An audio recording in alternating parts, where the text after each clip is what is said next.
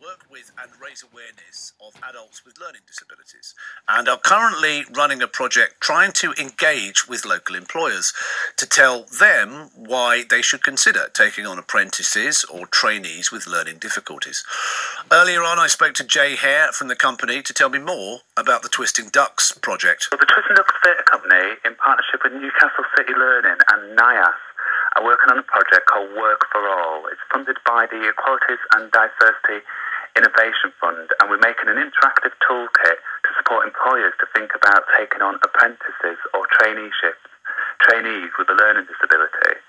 So the toolkit will also support young people to think about traineeships as a potential pathway into paid employment. So, are people with learning disabilities often overlooked when it comes to employment opportunities?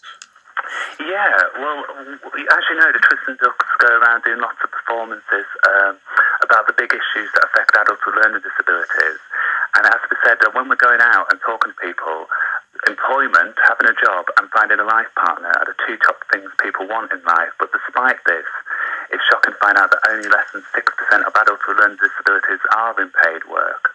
And there's lots of good examples of people um, across the city doing wonderful jobs and have added extra value to uh, employers. People you know in jobs like uh, McDonald's and Starbucks and in NHS who are really doing fantastic work. We want to share these experiences with other employers. So, what are the benefits for employers of having people with learning disabilities on their workforce? Well, there's lots of lots of benefits, and uh, in Newcastle, we're going to be holding uh, events where people can come and find out, see our toolkit, find out the uh, financial and social benefits of taking on someone with a learning disability, and get some advice and guidance. So, would the apprentices get extra support should they should they need it whilst on their placements? Yes, there's loads of additional support that people can be entitled to. There's projects like um, in Newcastle, like Project Choice, and that's a part of the NHS, and there's different initiatives, and they're all going to be there to, to tell employees about the. Uh, what, what sort of jobs would they be in the NHS?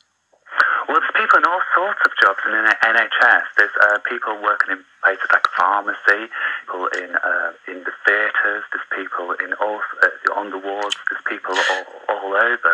Are, are, are, there any specific areas of employment that you think would be better suited, or, or are you hoping to get your message across to all employers? We want all employers to come along and find out how their business can be benefited by taking on a, a trainee or an apprentice with a learning disability.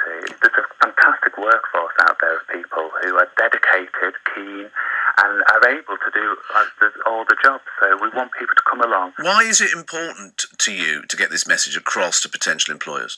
Well, it's important because all the people that we work with and all the people, members of the Twisting Ducks, and all the people that we're in contact with, having a job, offering something back to society, and, and bringing home a wage are, are, are really crucial to people. And there's not always the opportunity to, to get employment. And I think sometimes employers might not be aware of uh, what support's available to, to give opportunities to people. So, Jay, how can we help?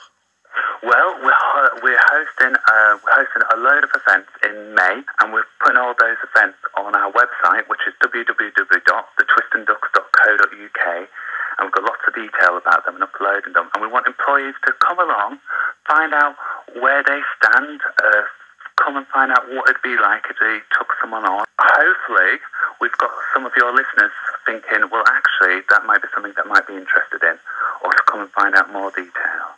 Jay Hare from the Twisting Ducks Theatre Company. Uh, if you are a, ten- a, potential employer and you want to find out more about this project, then check out their website, thetwistingducks.co.uk. We're talking apprenticeships